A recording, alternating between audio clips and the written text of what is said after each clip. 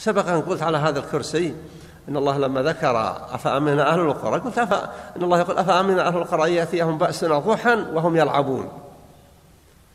الناس ما يمدحون باللعب وإنما يمدحون بالطاعة والتقوى والجد والاجتهاد فيما يصلح الأمة ويرفع قدرها. وأما مجرد استماع الشعر مع الأدب في, في الاستماع فلا حرج فيه. بشرط أن لا يلهي الناس عن عبادة الله جل وعلا. فنسأل الله أن يصلح حال المسلمين في كل مكان وأن يهدينا جميعا سواء السبيل وأن يحفظ علينا في بلادنا في المملكة. الأمن على ديننا ودنيانا وأن يجيرنا من الفتن ما ظهر منها وما بطن.